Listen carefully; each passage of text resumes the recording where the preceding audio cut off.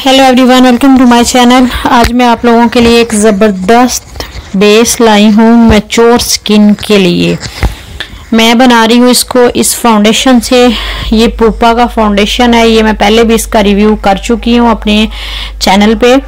50 plus as के लोगों की बेस भी इससे ज़बरदस्त बनती है। तो इसके लिए मैं आपको बताती हूँ कि हम क्या मेथड यूज़ करेंगे। 50 प्लस जो खातन होती हैं, आपको पता है उनकी स्किन पे फाइन लाइंस वगैरह और काफ़ी सारे प्रॉब्लम्स होते हैं। उसके लिए ख़ास तौर पे गर्मियों में दो काम ज़रूर कीजिएगा। एक तो आप स्किन पे पहले थोड़ी सी आइसिंग कर लीजिएगा। उसके बाद अगर आपके पास गबरीनी का प्राइमर है तो वो यूज़ कर लें। अदरवाइज़ ये मेरे पास फरसाली का रोज़ गोल्ड सीरम है। ये स्किन को बहुत ही अच्छा एक टेक्सचर दे देता है। तो सबसे पहले इस, मैं अपनी स्किन की प्रिपरेशन के लिए ये यूज़ करूँगी। ये वन से टू ड्रॉप मैंने लगाए हैं। यहाँ मेरी इतने से हाथ के लिए ये काफ़ी हैं।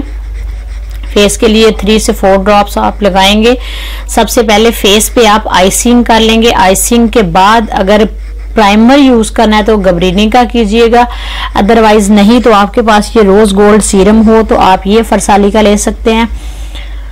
अगर आपके पास कोई और अच्छे ब्रांड का सीरम है तो आप सीरम लगा लीजिए। इसलिए कि सीरम स्किन में जल्द ही, फ़ौरन ही पेनिट्रेट हो जाता है और वो आपके टेक्सचर को चेंज कर देता है। और लाइट वेट भी होता है, क्योंकि जब हमें मेच्योर स्किन पे बेस बनानी होती है तो हमें बहुत ज़्यादा हैवी कवरेज नहीं चाहिए होती और ना ही कोई हमने इतनी हैवी बेस बनानी होती है, ठीक है? ये ऑल स्किन टाइप फाउंडेशन है और ख़ास तौर पे ये फाउंडेशन जो है मेच्योर स्किन पे, इसके ऊपर भी लिखा हुआ है मेच्योर स्किन ठीक है? वेरी मेच्योर स्किन के लिए। अब हम इस फाउंडेशन को अप्लाई करेंगे।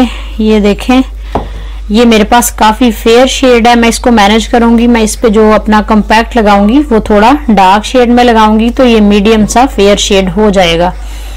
ये देखें, ये इसकी मीडियम कवरेज है, इस फाउंडेशन की। इसको लगा के हम ज़रा अच्छी तरह सेट कर लेंगे। ये देखिए अब मैं इसको हल्का हल्का सा ब्यूटी ब्लेंडर से सेट कर लूँगी। इतनी ज़्यादा कवरेज नहीं है इसकी मीडियम कवरेज है। क्योंकि जब हम फाइन लाइंस वाली स्किन पे जो है ना बेस बनाते हैं मैच्योर स्किन पे, अगर हम बहुत ज़्यादा हैवी कवरेज वाला बेस बना दे तो वो केकी लुक देती है और बहुत ज़्यादा बुरा भी लगता है।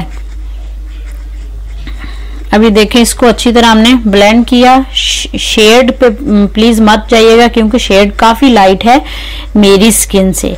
आप लोग अगर ये वाला फाउंडेशन बाय करें या कोई भी करें तो आप नॉर्मल कलर वाली शेड लीजिएगा क्योंकि मैच्योर स्किन को इतना फेयर शेड कभी भी नहीं चाहिए होता। अब ये देखें, ये काफ़ी फेयर कलर है। अब इसको मैं सेट करने के लिए इसके ऊपर पाउडर यूज़ कर रही हूँ। ये इस इस पाउडर का मैं पहले भी रिव्यू कर चुकी हूँ अपने चैनल पे। बहुत ही अच्छा कम्पैक्ट है और इसकी कवरेज भी है। अब हमारी फाउंडेशन क्योंकि मीडियम कवरेज थी और बहुत ज़्यादा मेरा कलर फेयर था, इस पे, उसके ऊपर अब मैं थोड़ी सी कवरेज वाला, जो है ना पाउडर लगा रही हूँ। और थोड़ी सी ये फाउंडेशन से डार्क है शेड ठीक है? तो ये देखें, जब हम इस तरह ये शेड लगाएँगे तो हमारी स्किन बैलेंस हो जाएगी, हमारी शेड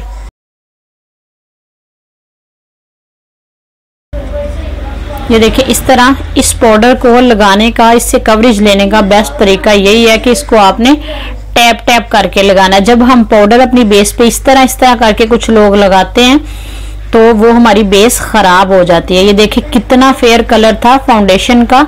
तो पाउडर जो है, ऊपर मैंने कम्पैक्ट लगाया, वो थोड़ा सा डार्क लगा लिया। अब ये देखें, ये बहुत ही मैनेजेबल मतलब बहुत ही अच्छा शेड हो गया। इसने फाउंडेशन को मैनेज कर दिया। बहुत ज़्यादा वो जो चिट्टा सा कलर नज़र आ रहा था, मैदे की तरह का फेयर वो नहीं अब रहा। अब ये देखें फेयर कलर हो गया, लेकिन अच्छा सा, जो कि हर स्किन पे सूट कर जाता है।